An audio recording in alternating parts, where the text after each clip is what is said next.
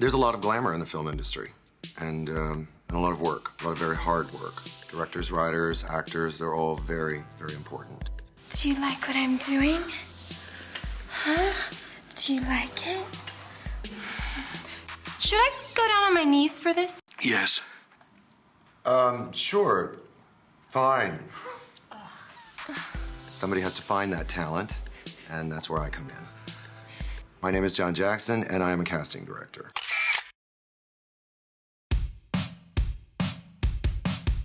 So sexy in your chair.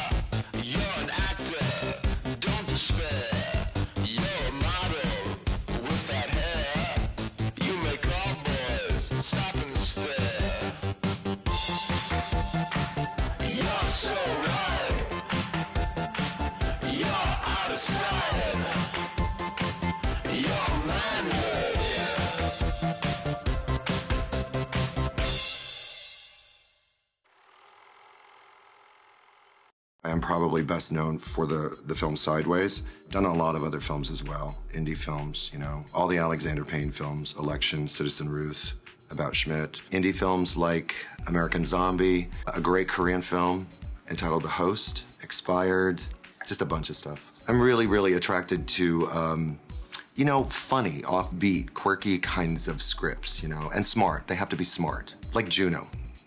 Juno was a very good film. I wish I had cast Juno.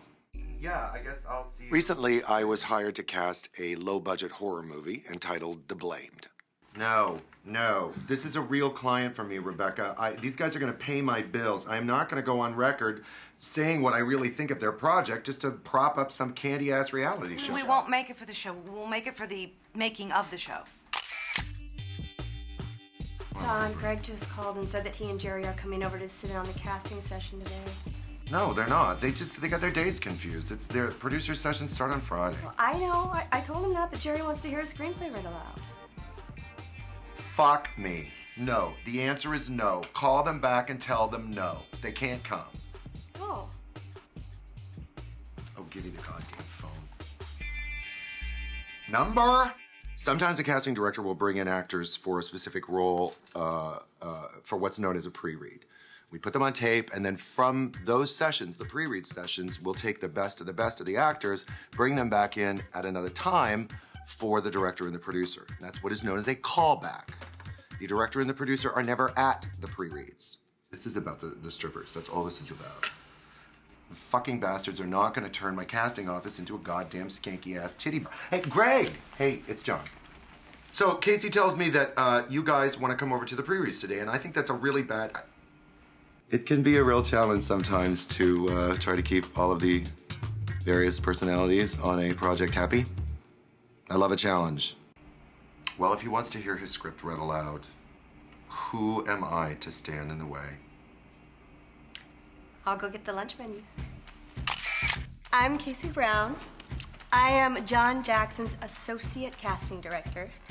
ACD, I like to say, because it's shorter.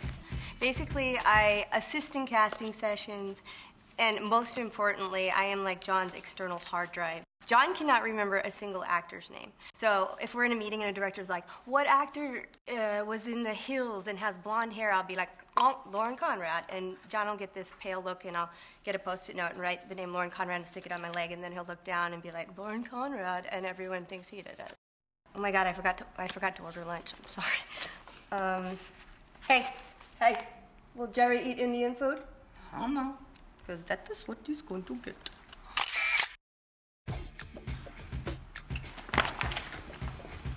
These idiots. I'm his boss, but he doesn't like me to say it out loud. Can you believe that I was Casey Brown in my interview? How could you not be Casey Brown? You are Casey Brown. No, sometimes I'm over the top. Shh, you can tell me that twice. Mm-hmm. Did you get in my bag and steal my lip gloss again? You bitch, that is $45. Oh, it looks good, doesn't it? You know, you need to worry about John instead of me. He's gonna freak out as soon as he finds out that you invited Jerry here today. He told me that I couldn't audition and I wasn't right for the part. Like you can be right for a part. It's called fucking acting. You know what? I figured that if Jerry was here, I could probably talk him into auditioning me. Yeah, right. Don't you ever read The Secret or watch Oprah or enlighten yourself in any way? Oh, I can't stand that bitch. Talking about the secret. I got a secret for her. Psh, you're black. Okay. Sometimes a, a director will want authenticity for a role. Jerry, who is the uh, director of The Blamed, was adamant that this particular role be played by an actual stripper. Okay, are you nervous? Do I look at you with the camera? Okay. Um, heck yeah, I'm nervous. I mean, I perform all the time, but normally I don't like say anything. Casting is my day job. I'm actually an actress. It can be really frustrating, to say the least, when I am forced to work with these people who are clearly not actors. I mean, I went to school for this. I have a degree in acting. Try and say the lines like you would to any customer. They're, they're clients. We call them clients. They used to have a SAG card that you got and it meant something. Bette Davis would be fucking rolling in her grave because now they give it to any asshole who's willing to, to, to, to kiss up on set to the second AD or suck cock in the bathroom. Have you seen those porta potties?